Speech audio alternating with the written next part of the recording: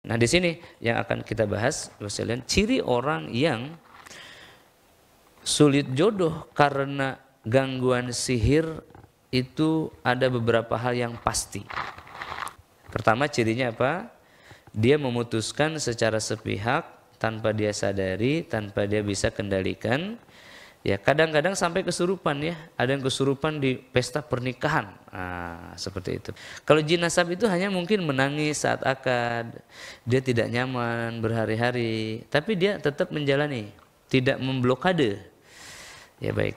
Kemudian yang ketiga, itu ada ciri yang spesifik di wajah, wajahnya menjadi tua. 10 tahun lebih tua, Pak. Jadi kalau dia usia 30 nampak seperti 40 atau 50. 40 lah gitu. Dan ketika diruqyah maka langsung berubah wajahnya. Berubah ke mana? Ke 30 lagi. Begitu. Ada perubahan pada wajah, pada rona wajah. Ronanya gimana?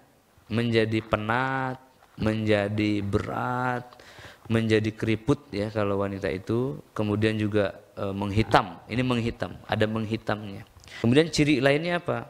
Ciri lainnya mimpi. Mimpi-mimpi yang khusus. Mimpi sihir itu apa? Mimpi ada air. Mimpi hanyut. Mimpi tenggelam. Mimpi apa lagi? Mimpi lihat boneka sedang ditusuk. Mimpi fotonya.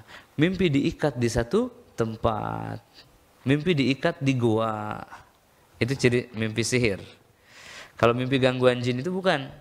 Mimpi gangguan jin itu mimpi sedang bersenang-senang. Mimpi sedang ada dengan pasangan dan nyaman. Mimpi sedang berhubungan, mimpi sedang bercinta, mimpi dikejar-kejar, mimpi diperkosa, mohon maaf ya. Mimpi um, kemudian dibunuh, oh enggak enggak, mimpi dikejar-kejar lah, dikejar-kejar pasukan ya, dikejar-kejar orang, digigit, e, dibelit binatang, dikejar binatang. Kalau sampai digigit itu adalah sihir, mimpi digigit ular misalkan, dia sihir. Tapi mimpi dibelit itu jinasab.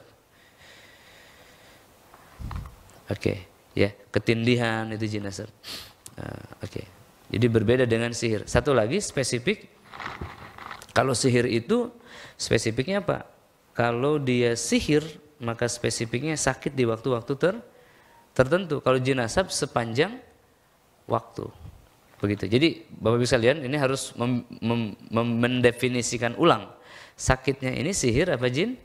Jinasab. Sulitnya jodoh ini sihir apa jin? Jinasab. Begitu.